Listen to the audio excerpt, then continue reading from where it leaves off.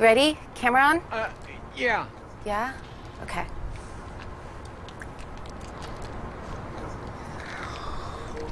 Oh my god. It's Cindy. Now that was attempt number 42.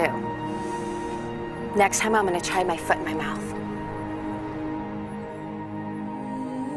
They are here, walking among us, seemingly normal people with special qualities.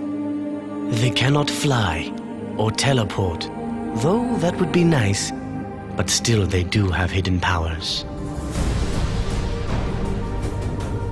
They are ordinary people I can touch my tongue to my nose. with relatively pointless abilities. How does it feel to kick yourself in the back of your own head? If you could balance a flip phone on your nose, would you use it to save the world? And still, will others use their bendiness for evil purposes? How is the footwriter connected to the straw playing guy? Perhaps each will walk alone with their own abilities. I can do a stomach thingy. Powers that no human can wield, or would be caught dead wielding. Their time is here.